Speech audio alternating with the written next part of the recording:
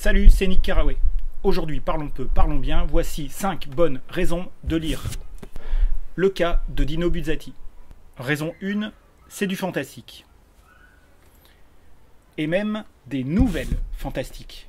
Donc, le fantastique, c'est un genre qui est boudé par les adultes en général.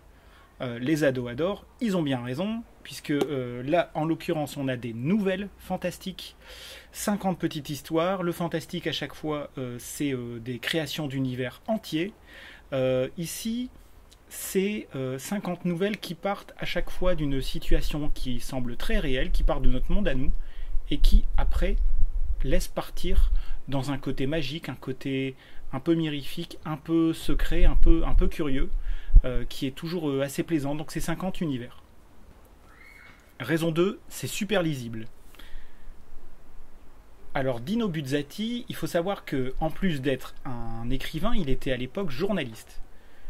Et en tant que journaliste, il était moqué par euh, d'autres écrivains pour son style, pour ses idées qui semblaient courtes.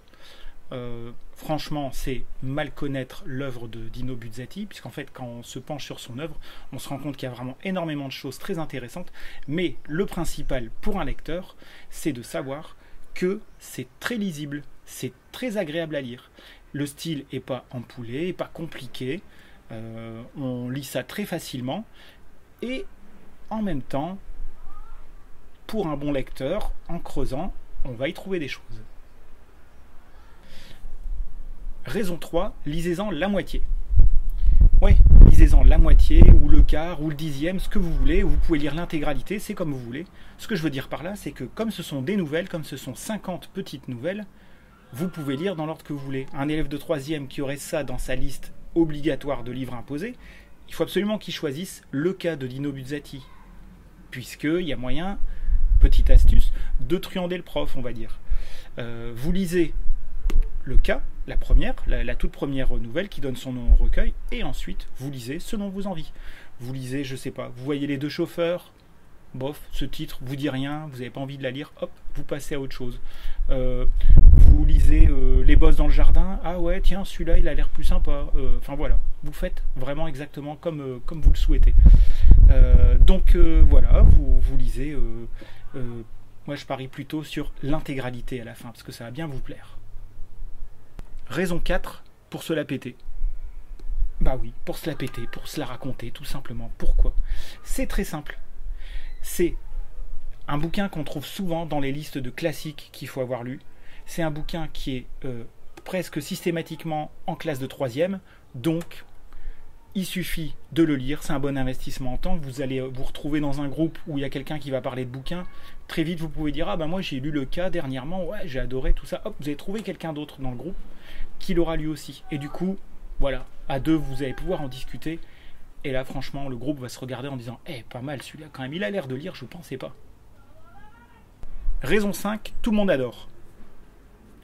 Ouais, tout le monde adore, et j'ai pas peur de m'avancer en disant ça, pour mon cas précis, j'ai un exemple sous la main. Quand j'étais en classe de troisième, mon prof de français, monsieur Albert Seyss, euh, avait demandé euh, à ce qu'on lise, donc une lecture imposée.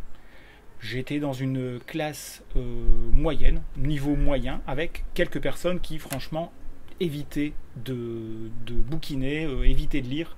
J'avais notamment ma voisine de classe, Betty, qui, euh, elle, euh, me demandait systématiquement de lire, de résumer avant, les, avant les interros. et ensuite, on se débrouillait comme on, comme on pouvait. Eh bien, en fait, tout le monde a lu donc cette première nouvelle, le cas, comme le prof avait demandé. On se retrouve en classe. Et la stupeur, le prof demande si on a aimé, mais alors ça a été unanime. J'étais scotché. J'avais dans ma classe ma voisine qui l'avait lu, qui avait bien aimé, qui avait envie de lire les autres. J'avais d'autres personnes dans ma classe. J'avais un, gars, alors lui, moins il en faisait, euh, Olivier, et euh, mieux il se portait. Et euh, lui, c'était pareil, il l'avait lu. Vraiment, je, je, je n'ai pas compris ce jour-là. et en fait, c'est très facile à comprendre. C'est juste que c'est super bien écrit, c'est super lisible, etc. etc. C'est juste un bouquin que tout le monde adore. Donc, si on reprend du fantastique, super lisible, à lire en partie, pour se la raconter, satisfaction garantie. Allez, on va émettre une dernière réserve juste pour la forme. Toutes les nouvelles ne vont pas plaire à un élève de troisième, mais presque. J'ai relu ce bouquin, pour, euh, j'ai relu ça cette semaine, justement, pour, euh, pour ce booktube. Et autant j'avais adoré le veston ensorcelé, une histoire d'un type qui trouve un veston, euh, et quand il regarde dans la poche, il trouve un billet, un billet de, je sais plus, enfin c'est de l'argent italien, c'était les lire il tire quelques billets et puis euh, le lendemain, dans les faits divers, il apprend qu'une personne s'est fait agresser et puis euh, on lui a pris exactement la somme que lui a trouvé dans le veston. Le surlendemain, il tire, il trouve une plus grosse somme, il se dit tiens vraiment dans la doublure, j'avais mal regardé.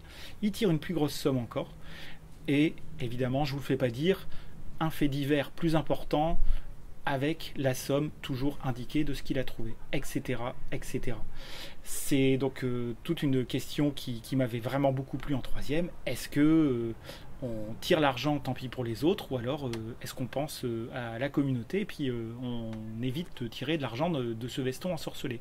Bon, ça, ça m'avait parlé en troisième, mais aujourd'hui, quand j'ai relu ça, passé la quarantaine, j'ai surtout adoré les bosses dans le jardin les boss dans le jardin. C'est l'histoire de, de, bah, Dino Buzzati, justement, qui raconte, qui, est dans son jardin, et puis euh, euh, son, jardin est bien fait. Tout à coup, un jour, il trouve une petite bosse.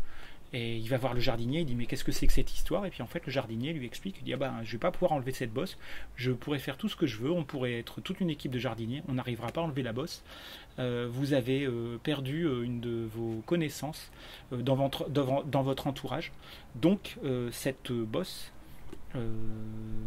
c'est une façon à chaque fois, quand vous passerez, de penser à cette, cette personne. Et au fur et à mesure de sa vie, Dino Buzzati va trouver de plus en plus de boss. Bon, évidemment, pour un élève de troisième, ça parle moins, mais pour quelqu'un de 40 ans, voire de 80 ensuite, on ne sait jamais. Euh, voilà, c'est vraiment quelque chose d'extra.